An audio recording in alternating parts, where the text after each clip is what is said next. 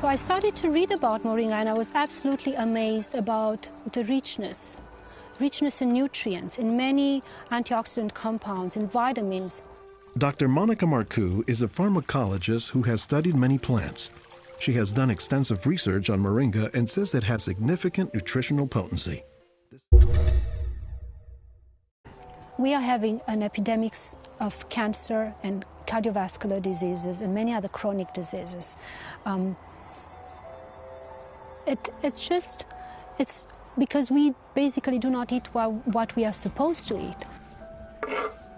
Most of the plants are famous for a particular type of nutrient, like for instance, um, the orange or the lemon um, is famous for a high content of vitamin C. The spinach, for instance, on the other hand, is famous for its iron content.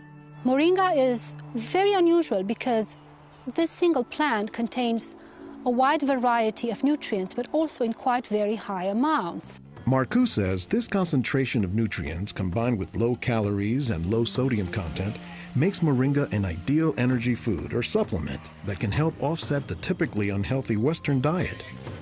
Many of the Westerners are also deficient in antioxidant and anti-aging substances that are mostly found in plants. Antioxidants, according to the National Institutes of Health, protect the body's cells and may prevent cancer. And Marcu says moringa is a treasure trove of antioxidants that happen to work hand in hand. Antioxidant substances and antioxidant vitamins work together in the body. For instance, it's known that selenium works better in the presence of vitamin E. Moringa has high amounts of selenium and has also vitamin E.